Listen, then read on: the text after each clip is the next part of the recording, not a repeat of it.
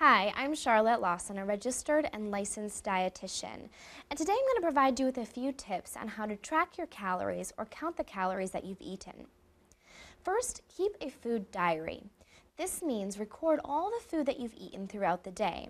Try to be as specific as possible, meaning the time of day you've eaten it, the amount that you've eaten it, and if you can measure, try to measure if you can, uh, as well as the type of food product and maybe how it was prepared. If you know that it was fried versus baked, all of those can affect the amount of calories you've eaten.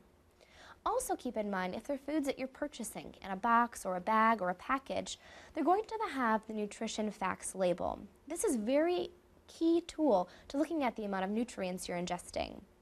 Make sure to look at your serving size, as all packages don't necessarily contain one serving. For instance, a bottle of soda, which you may consume the entire package, actually has about two and a half servings.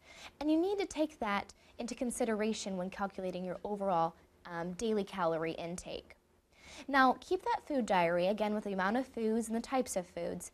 And you can either go into a nutrient database, such as the USDA Food National Database log, and find the particular calories of that type of food, or you can utilize like the mypyramid.gov website.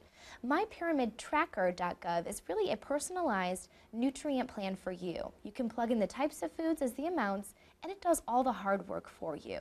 Calculates the calories as, as well as all the breakdown of where the calories came from, vitamins, minerals, and different nutrients we need. So again, your part is keep the food log and track the amounts, let mypyramid.gov do the rest of the work for you. It's just a little bit of information to help you get on the right track to calculate your daily calorie intake. I'm Charlotte, and eat happy.